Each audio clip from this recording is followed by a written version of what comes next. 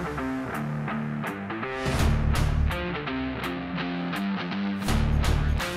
Ben ritrovati amici di calciomercato.com, oggi per parlare di un talento italiano, Roberto Piccoli, attaccante classe 2001 dell'Atalanta, perché è vero che c'è un Atalanta che incanta in Champions League, che si qualifica per gli ottavi per la prima volta nella sua storia, ma c'è anche un Atalanta, quella dei giovani, che Roberto Piccoli porta avanti a suon di gol, perché in Youth League ha segnato 6 reti in 6 partite, davvero un ruolino impressionante, capocannoniere della fase gironi in assoluto della competizione, un ragazzo italiano, bergamasco, puro sangue, che l'Atalanta eh, è già al lavoro per per trattenere con sé ancora nel proprio progetto, ha avuto diverse richieste di prestito in vista di gennaio, ma Gasperini conta tanto su di lui in prospettiva, quindi Atalanta che studierà la strategia per il futuro di Piccoli, anche tante richieste da squadre che magari pensano di poterlo acquistare. Non c'è però questa possibilità, ci aveva pensato il Milan in estate come opportunità per quanto riguarda Piccoli, prenderlo magari come alternativa in più giovane in attacco, non se n'è fatto nulla, l'Atalanta lo tiene con sé, Occhio al Manchester City perché una delle squadre a cui ha segnato di più piccoli durante questa Youth League è stato proprio il City che tiene d'occhio già Traoré